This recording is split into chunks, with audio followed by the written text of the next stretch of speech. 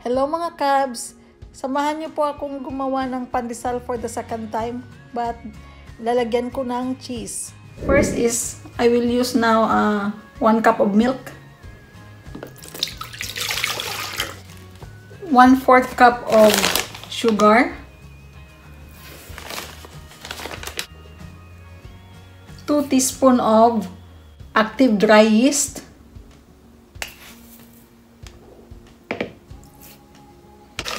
Mi-mix natin thoroughly para ma-dissolve ang sugar.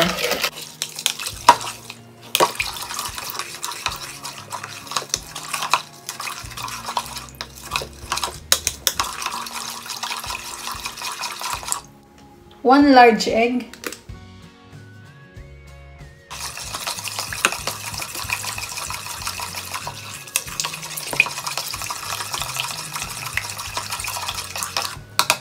Tatakpan muna natin mga cubs for 10 minutes para ma-activate ang ating dry yeast.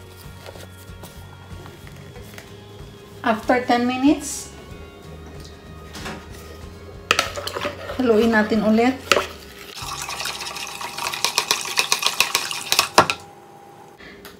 Two and one half cups of flour. So, ito gamit ko is one half. So, half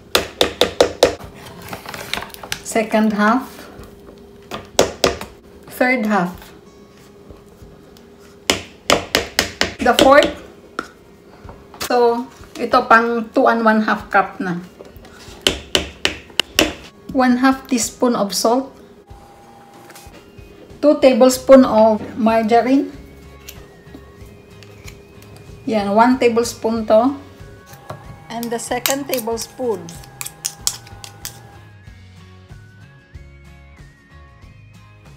Andito na tayo mga crab sa ating flat surface para dito na tayo mag-knead. Gagamit na tayo ng ating kamay din para mahalo natin ng maayos.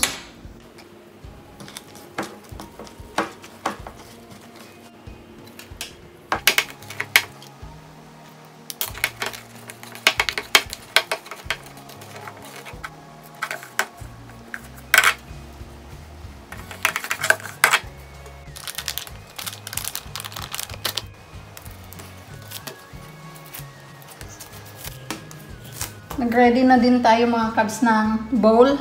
Greased na siya ng star margarine.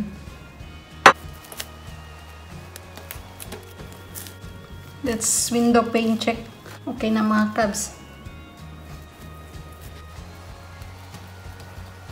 Naka-form na ng into ball. At ilalagay na natin sa bowl. ball into a bowl.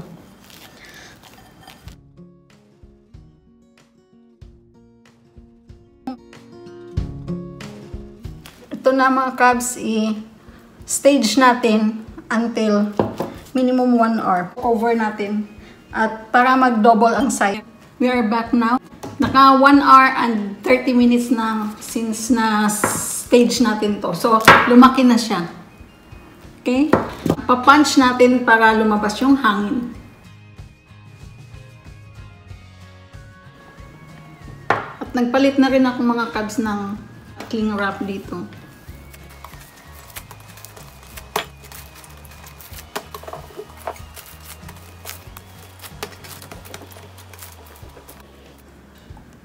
Divide natin sa dalawa.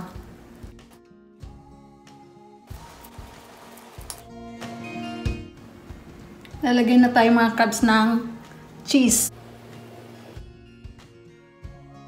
Form natin ng ball. Ginamit ko pala na cheese mga cubs is uh, Kraft cheddar cheese. Walang Eden.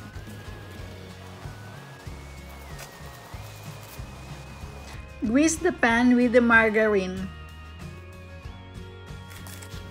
At this point, nagko-coat na tayo mga cubs ng breadcrumbs sa lahat ng dough balls. Ito na yung mga finish na na-coated na. And mga cubs, 24 pieces. We will let it rest for 30 minutes. Habang isi-set ko yung oven natin, 30 minutes. 30 minutes na. So, ito na siya. Nag-preheat na rin tayo ng oven. Put in oven. Set natin sa 15 minutes first. 180 degrees. In 15 minutes. A few moments later. Ito na mga cams. Tapos na. Yan. Wow! cheese pandesal. Try natin ngayon. Wow, cheesy. Nag-melt. Soft and cheesy. Tikman natin. At yan, tinost kong konti din. Sarap. Perfect ulit ang paggawa ko. First time pandesal with cheese. Thank you so much for watching. I hope you enjoy and tsaka may natutunan din na kayong version ko ng pandesal. Experiment turns into perfect. Thank you so much. Bye!